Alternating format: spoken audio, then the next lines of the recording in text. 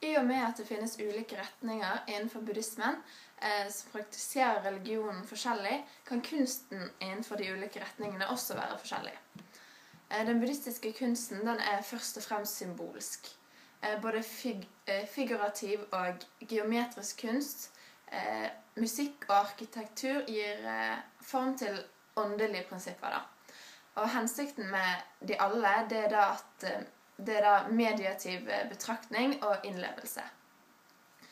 Betraktning av bildekunst det kan i religiøs sammenheng forstås som visualisering av de åndelige prinsippene som kunsten da gir form til. Visualiseringen er et hjelpemiddel eller et utgangspunkt for objektløs meditasjon. Målet for kunstbetraktningen er å frigjøre seg fra den, få del i de ideene kunsten uttrykker, uten å, eh, å støtte seg til eh, lyder eller former. Eh, et grunnleggende symbol det er da sirkelen, som går igjen i mange sammenhenger og ulike kombinasjoner. Eksempel så sitter Buddha, Buddha gjerne i en sirkel rundt lotus. mandalaene for eksempel har sirkelen som grunnform. Stupene, som er tempellignende bygninger, har sirkelen som ett av sine grunnelementer, osv. Sirkelen sirkel den kan representere helhet og fullkommenhet, eh, men også fred og frihet eh, fra den materielle verden. Samtidig kan sirkelformen representere, sams, representere samsara, den evige syklusen av gjenfødsler og en sirkulær tidsforståelse. De mange fremstillingene av jul de er derfor typiske for buddhismen. Eh, vi har livets jul, reinkarnasjonens jul og lærens hjul. Eh, firkanten innskrives i, eller omskriver ofte sirkelen som et symbol på den materielle virkeligheten. Eh, de fire verdenshjørner og de fire elementene, f.eks. Når sirkelen står for samsara og evig bevegelse, så kan firkanten stå for den faste og, absolutt, og absolutte. Eh, når firkant og sirkel kombineres, så er det et uttrykk for at nirvana og samsara tross alt egentlig henger sammen. Eh, Buddhas lære om veien til nirvana innebærer at utgangspunktet for denne veien og nå Nei, for, den, for denne veien her og nå i tiden og rommet. Et annet gjennomgående eh, symbol det er lyset, som i likhet med sirkelen uttrykker nirvana. Nirvana kan ikke defineres, men antydes ved hjelp av negosjoner. Eh, og, det er det at i nirvana finner ikke vann, jord, eh, ild eller luft sin grunn. Og i nirvana forsvinner langt og kort, fint, grovt, godt og ondt. Eh, denne virkeligheten unndrar jo seg analyse, men den er likevel virkeligere enn den materielle og eh, tidsbundne verden. Eh, vi har jo det uttrykket når bevisstheten opphører, så forsvinner den i nirvana. Nirvana er altså knyttet til en spesiell bevissthetstilstand, eller snarere mangel på bevissthet, og det er denne buddhismen vil lede mennesket til. Kunstens viktigste oppgave det er å symbolisere den, og kraftige symboler kan både vekke og hjelpe den enkelte til å søke nirvana fremfor samsara. Eh, og lyset er da et slikt symbol.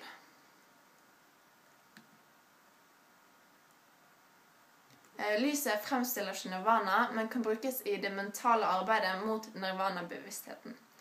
Eh, derfor er så mange buddha-statuer av gull og andre skinnende metaller, og derfor brennes ofte lys i rituelle sammenhenger. Mamma, vet du, du er Helt seriøst, jeg må begynne. Eh, dette henger da videre sammen med den buddhistiske kunstens eh, fremstillinger av energi. Eh, dharmisk energi det er, denne, det er, den energien som vokser frem av innsikten i Buddhas lære, som da er en overjordisk energi som får sitt estetiske uttrykk i fremstillingen av det fredfylte og oppmerksomme. Både buddha-figurer og landskap kan fremstilles med denne energien. I Kina så er bambustreet et tradisjonelt symbol for denne formen for energi. Det er både sterkt og fleksibelt. Denne åndelige energien fører altså til at eh, mannlige buddhaer og bodhisattvaer gjerne fremstilles med feminine trekk. Eh, visdommen og den åndelige innsikten forstås da som en feminin kraft. Mange bodhisattvaer og buddhaer fremstilles også som par. En mannlig bodhisattva kan f.eks. avbildes sittende i samleie med en kvinnefigur som symboliserer hans visdom. Mye kunst fremstiller også andre former for energi som kan symboliseres med ulike farger. Den grunnleggende energien det er den Eh, jordiske energien. Eh, og denne trans eh, transformeres flere ganger og går gjennom flere stadier i løpet av den enkeltes utvikling mot nir nirvana.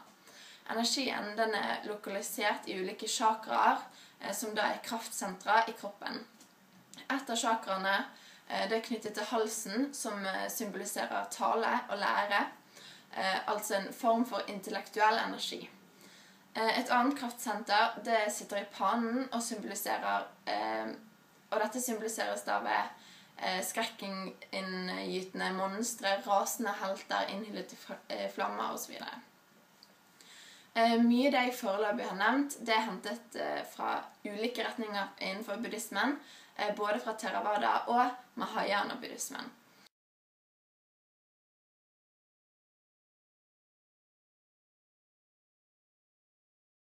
Skulpturelle fremstillinger i buddhismen omfatter bl.a. buddha og bodhisattva-figurer. En buddha er en oppvåknet, og skulpturene har eh, tradisjonelt vist at ved å plassere eh, det tredje øyet i buddhaens panne som et symbol på denne innsikten. Dessuten så ser buddhaene ofte innadvendte og drømmende ut fordi de allerede har trådt inn i en annen dimensjon, nemlig nirvana. Et annet trekk ved buddha-statuene det er at de, eh, det er de symbolske håndstillingene, eh, mudraer, gester, eh, som vi, som vi finner igjen i indisk dans og hin, hinduistisk kunst. I tillegg til mudraer holder ofte buddhaen symbolske gjenstander i hendene, som f.eks. en bok eller konkylie, som da er buddhas lære. En lotusblomst som står for opplysning eller en juvel som står for lys, lyn, mantra, kraftfulle ord og teknikker. Eh, som da er selve eh, arbeidsredskapet på vei mot nirvana. Eh, ofte så sitter også buddhaen i lotusblomst. De eldste buddha-fremstillingene fra de første århundrene etter Kristus, de er i nordvest sterkest preget av eh, helenistiske forbilder, mens de lenger syd Eh, minner mer om eh, tradisjonell eh, hindukunst. Etter hvert så fikk statuene et stadig sterk, sterkere preg av den kulten de inngikk i. Blant annet så ble det laget flere fremstillinger der Buddha får et mer guddommelig preg, f.eks. i kjempestatuer og forgylte figurer. Innenfor mahayana så ble bodhisattvaene dyrket i stadig større omfang. Eh, dette var da buddha som ikke forlot verden eh, for å gå inn i paranirvana, altså det hinsidige eh, nirvana, men da vendte tilbake til samsara for å hjelpe mennesker og andre levende vesener. Disse ble ofte dyrket som frelserskikkelser og fremstilles skulpturelt i tråd med andre buddhafigurer.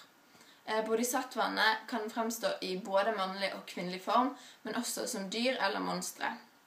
Et par kjente eksempler det er Avilokita Shevara, Tibets skytshelgen og eh, Maitreya, den fremtidige Buddha.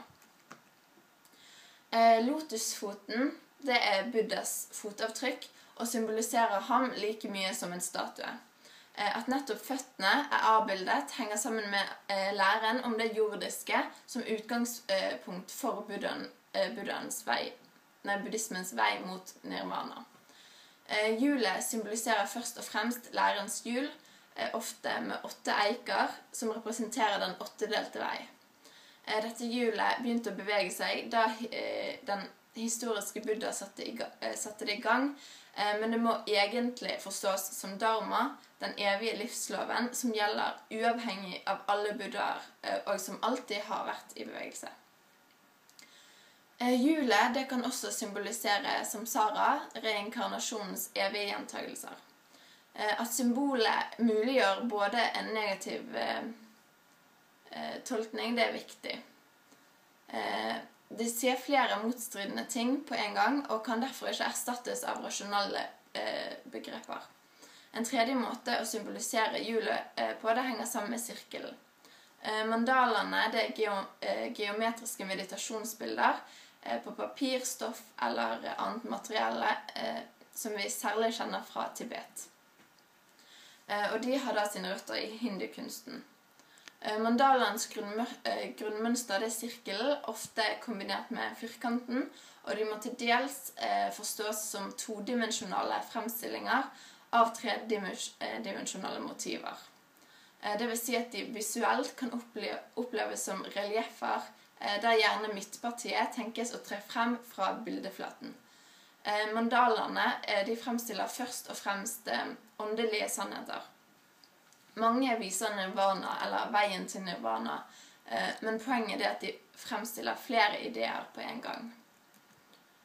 Eh, derfor kan eh, mange mandaler leses på flere måter. F.eks. kan både verden og mennesket fremstilles samtidig. Det er snakk om intrikate korrespondansesystemer der både farger, figurer, geometriske former og plassering har betydning.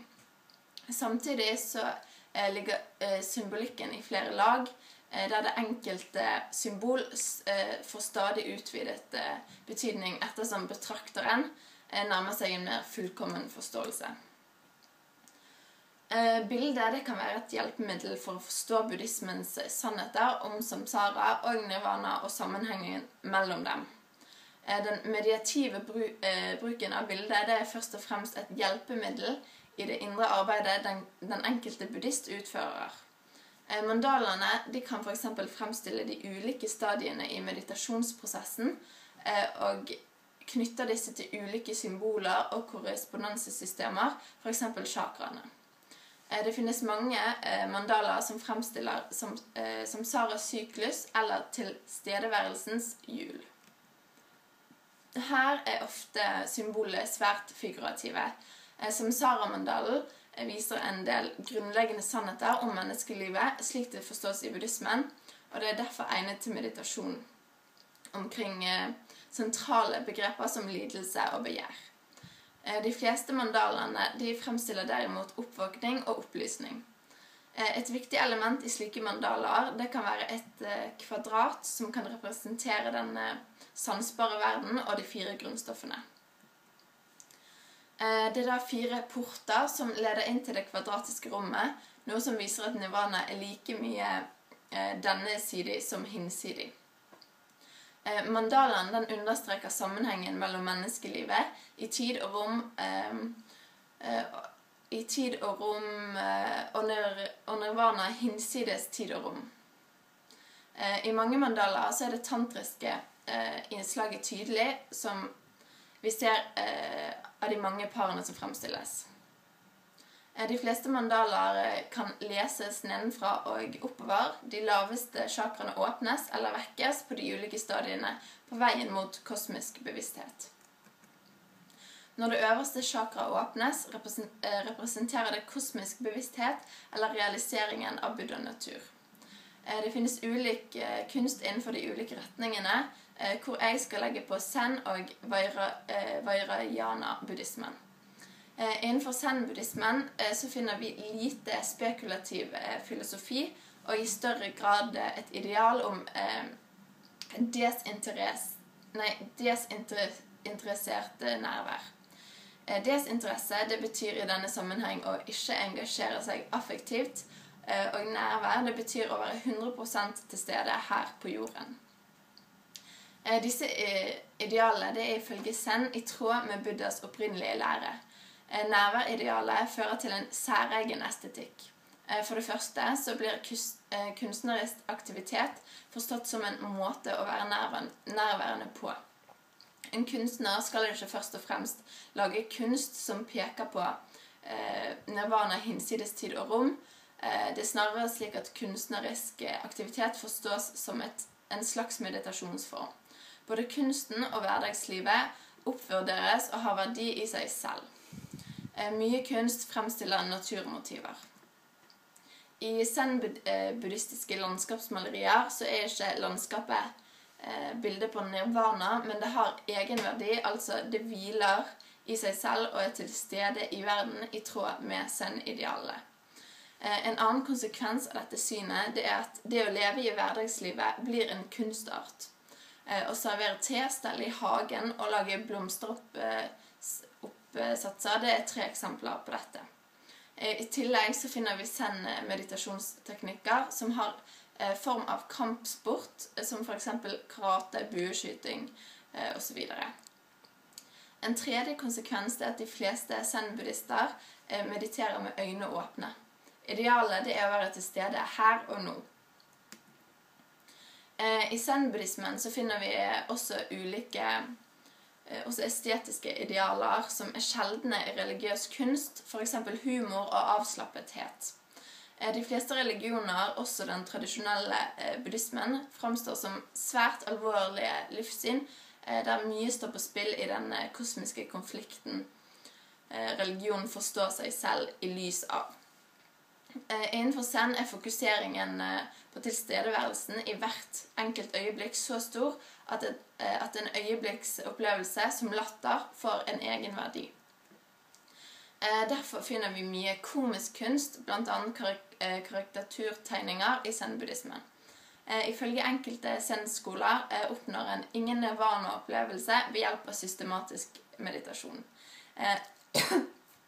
Meditasjon kan riktignok muliggjøre dette målet, men selve opplysningen kan bare oppleves ved eh, hjelp av sjokkterapi. Derfor så finner vi mye eh, gåtefull zen-kunst, f.eks. Eh, koan, som er tilsynelatende absurde gåter eller dikt som ikke kan forstås intellektuelt, men bare in initiativt av en som har opplevd eller opplever oppvåkningen. Eh, I forlengelsen av denne forståelsen så blir ikke idealet å jobbe hardt for å oppnå frelse, men heller å vente på den. Tålmodig. Eh, frosken det er et typisk zen-symbol. Eh, den er både morsom og forbilledlig, der han sitter urørlig og venter på neste flue i flere timer. En zen-mester, det er en som har oppnådd nirvana, kan gjerne fremstilles i en avslappet positur. Eh, på en annen side så finner vi også um, Zen-klostre der uh, disiplinen er ekstrem, så dette er ikke noe entydig bilde. I den tibetanske buddhismen så finner vi elementer fra både den førbuddhistiske, sjamanistiske bondreligionen og fra tantrisk hinduisme. Fra bondreligionen så kommer et mer magisk virkelighetssyn inn i buddhismen, Eh, noe som fører til et magisk kunstsyn. Eh, religiøse kunstverk får, i likhet eh, med talismaner og lignende, funksjon som kraftgjenstander. Magi det er per, per definisjon å manipulere overnaturlige krefter, og ved hjelp av ritualer, magiske gjenstander og konsentrasjon så kan magien bli effektivisert. Eh, et typisk tibetansk magisk hjelpemiddel det er den rituelle dolken parbu, eh, som kanaliserer eh, kraft på samme måte som mantraer. Fra tantra så har den tibetanske buddhismen overtatt og videreutviklet et menneskesyn med fokus på ulike former for åndelig energi. I kanaler i kroppen og i de såkalte chakraene så finnes denne energien og gjennom meditasjonsøvelser og ritualer så kan eh, denne frigjøres og styres. Den tantriske seksualsymbolikken finner vi også i Vairayana. Vairajana. Dolken og mantraet det er to av symbolene på det maskuline. Og i selve begrepet Vairana så ligger et tredje symbol på det samme. Eh, og det at det feminine aspektet eh, det symboliseres bl.a. ved den rituelle eh, skålen kapala, lotusblomsten og det kvinnelige kjønnsorgan. Det kjente mantraet om mani padme hum det gir uttrykk for foreningen mellom det mannlige og det kvinnelige. Padme hum kan oversettes med juvelen i lotusblomsten og ulike samleiefremstillinger symboliserer foreningen mellom det mannlige og kvinnelige. Eh, I hvert eh, enkelt menneske så kan det mannlige og kvinnelige integreres eh, gjennom meditasjon og på andre måter. Eh, et siste særtrekk jeg vil nevne når det gjelder vairajana, det er de mange dødssymboler som går igjen. Og dette er rosenkranser, eh, instrumenter, skåler og lignende eh, som gjerne lages av menneskeknokler og hodeskaller. Eh, og for en vestlig betrakter så kan dette virke makabert. Eh, som all annen symbolikk inneholder dødssymbolikken flere elementer. Eh, for det første så handler den som døden som uunngåelig. Eh, skal en kjenne livet, så må man også kunne kjenne døden. Eh, for det andre så er døden et symbol på liv. Døden det er da porten til gjenfødelse eller nirvana. Ferdig.